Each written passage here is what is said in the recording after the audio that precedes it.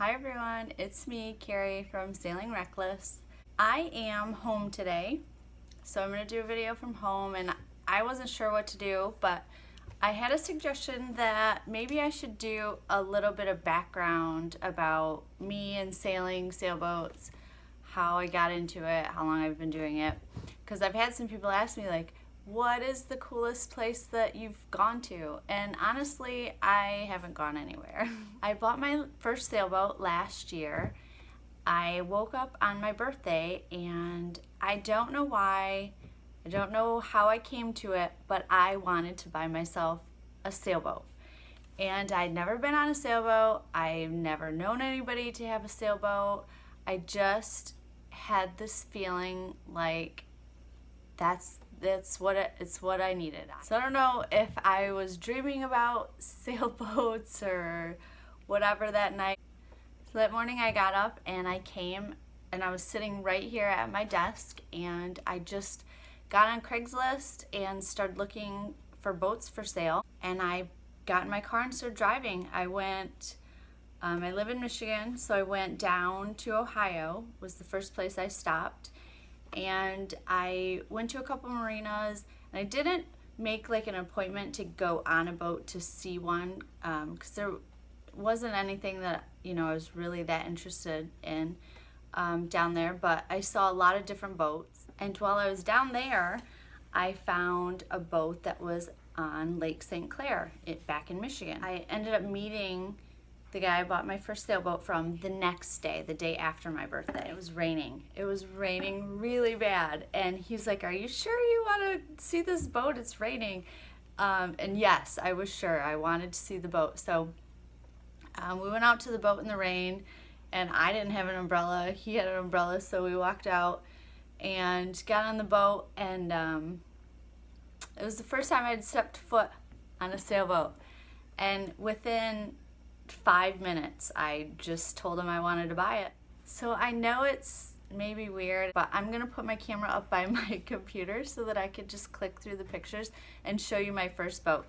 Okay, so I'm just gonna flip through these pictures and honestly I have no idea what's coming up next, so we'll see.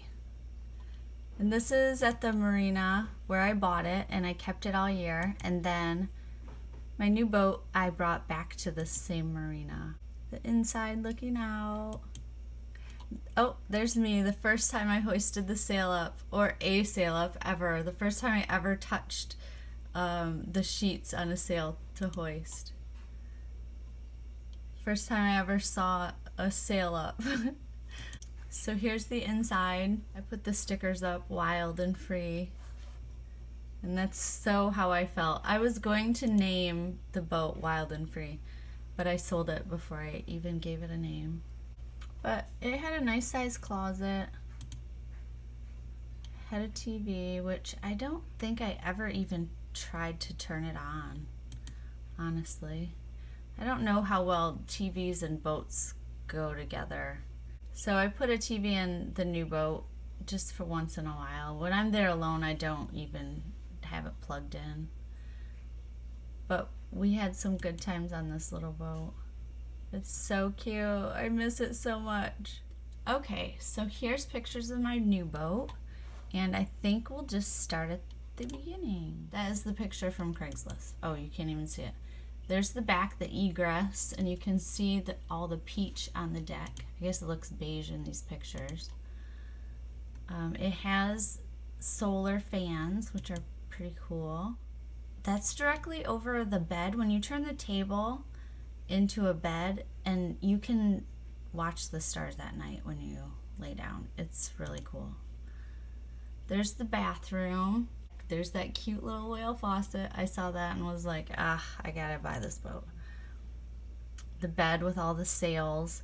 It, the boat came with probably six extra sails. I don't even know what they are or what to do with them the kitchen and the um, ladder to go out. This boat was filthy.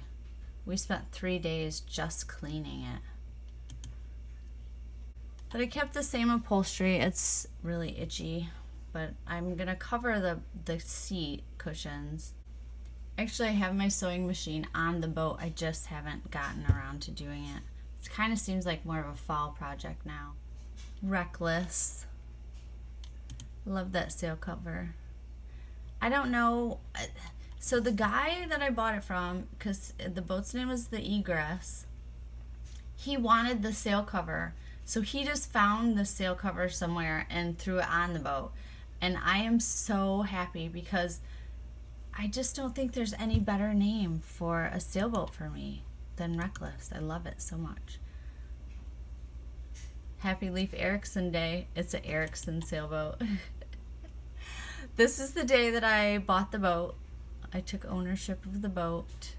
And see in this picture, you can see that it really looks peach. I couldn't wait to paint that.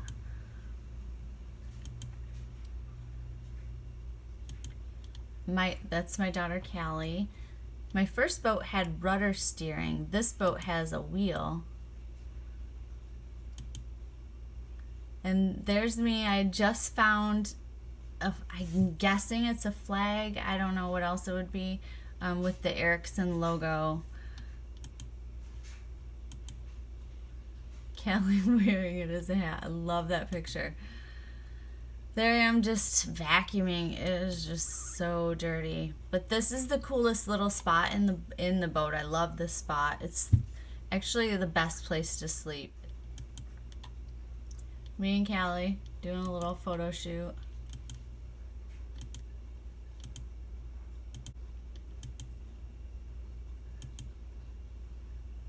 With the mess when I was working.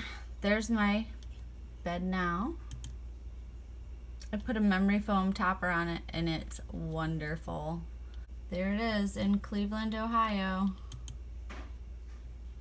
I wasn't going to bring the big boat up in the fall. I was, I was just going to store it in, in Cleveland and get it in the spring. So that's what I did. So this spring I went down and guys, uh, I have to this chair, I'm telling you, I think I'm going to throw it in the garbage after I'm done with this video. I just stopped the video for a second and I completely forgot what I was telling you about. the boat has this valve that got put on somewhere along the way that allows water to go up into the engine compartment. So if the valve's open, the engine can get the water it needs to cool the engine off. I don't think most sailboats are made like that. I think they're just when you start them, whatever happens to allow the water to come in. Well, this boat, you have to open the valve to let the water come in. And then when you shut the engine off, you have to shut the valve or the engine will flood with water. And then when you start it, you'll ruin it and blow the head gasket. Well, the valve got open. The valve was open and I started the engine. I, I should have checked it, but I didn't and it blew the head gasket. So this entire year, I have, since we got the boat back to Michigan, I've been working on getting the engine put back together. I was just trying to read a message that just came across on my phone. But anyway, uh, the I'm super proud of myself for taking the engine apart and putting new parts on and getting it put back together. Yeah, I don't know. I mean, I don't know if it's so much that I'm proud of myself I I think it's more like I'm proud of the boat and I can't wait to take it out. Since I got the engine started, I've been at the boat alone and I don't I haven't had anybody to take it out with me and I it's just the this my first boat, my smaller boat, I could take out by myself and it was okay. Um, you know, coming back in was a little scary, docking it by myself. I always hated to do that, but I could do it. This boat is so much bigger and I'm just I I just am not taking it out by myself. The first time for sure, I have to get the docking thing down better before I can be confident to bring this big boat back in um, and dock it without ramming the dock and cracking the hull open or something terrible. Um, but you know that will that's just my goal for the end of the season to to learn how to bring it in and dock it um, safely carefully, safely, properly. We'll see how that goes. I got this giant bruise on my arm from something. I don't know, some when I was working on the boat. Probably when I was working inside the tiny little closet. That was a nightmare. I need to get a product to redo the, I don't even know what it's called, the thing up top that this the thing up top that the thing hooks to. You know, the, you got the mast and the sail and the lines. The thing that the side stay attaches to on the deck of the boat, that's leaking. So I need to take that off and I think I saw this product that is just like a, an adhesive and you put that on and then you put the thing and bolt the thing back on. I'll talk to the guys at West Marine. They're great. So I'll just... God. Maybe if I sit backwards on it. Yeah, that's better. Oh, it's so comfortable. Um, that's what I'll be doing this weekend. Yay, fun. Still need to get the blue stripe on the other side of the boat painted. I've just been kind of putting that off because I got to paint from the kayak and I am not looking forward to that job. Me and my bangs, me and my bangs situation.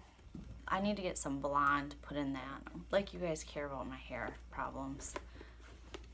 I feel like I did a terrible job telling you about the boats, but I should probably start kind of writing down what I want to talk to you about when I make these videos. Somebody actually suggested that I make a couple videos in advance um, so then I don't have to, I'm not like in a rush to make a video and edit it and get it put out because it's been hard it's really hard. So like it's pretty late right now and I will still have to edit this video before I can put it on YouTube. So so I should probably do that. But the cool thing is like you get to see right away what I did. It's almost like I'm going live. That's how soon after I make these videos you get to see them. So I guess that's kind of cool. Or does it matter? I, it probably doesn't even matter. Who cares when I made them? I should probably take like a little bit of a break. I should probably say, hey, I'm gonna go on uh, vacation for a week and not do any videos. So absence makes the heart grow fonder, right? You'll just miss me and then you'll want to see my videos when I start making videos.